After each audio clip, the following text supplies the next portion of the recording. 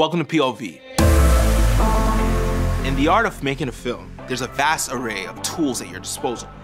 You'll be eager to learn about cameras and lenses and other high-tech gear, but equally important is the vast array of grip gear on set. Let's take a look at some. C-stands. In film production, a C-stand, also known as century stand or grip stand, is primarily used to position light modifiers such as silks, nets, or flags in front of a light source.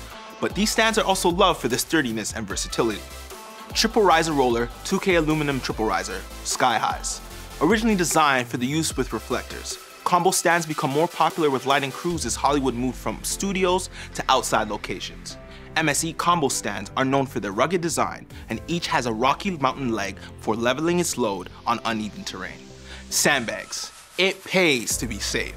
Film professionals can use saddle sandbags to ballast light stands, tripods, and production equipment, preventing them from tipping over and potentially causing damage to equipment, sets, or your crew. Lights. ARRI Fresnel lights are one of the most common lights you will see on film shoots. It's important that you don't blow any fuses when using lights. A standard household outlet can allow 20 amps of power at 120 volts, which is about 2400 watts of power. This means, in theory, you can have two 650 watt Fresnel lights in one socket. That's a total of 1300 watts. We'd suggest not going over 2000 watts per socket or you might blow a fuse. Flag kit.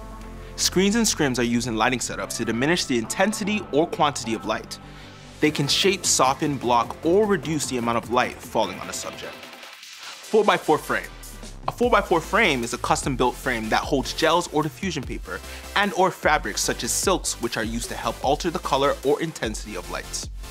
Various base plates, 2K and 750. When a stand won't work, these base plates are used, allowing you to rig lights in lower positions.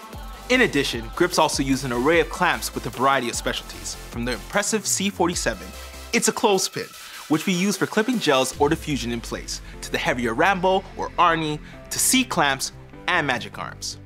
Finally, we've come to one of the most useful pieces of equipment on any set, the Apple Box. Apple Boxes are used for anything that needs to be propped up or supported temporarily.